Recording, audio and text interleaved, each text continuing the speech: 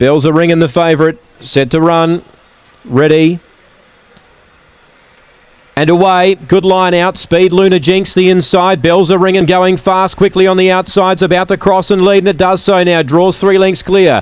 McLaren Missile ran to second. Three lengths away then to Luna Jinx. Outside it, Able Chief. Three out was Sea Wins. Further back in the field came Bradley Bale. Last is Go You Girl. Now McLaren Missile really testing the leader. Bells are ringing and takes the lead by about a length down the back. Bells are ringing, has to find something.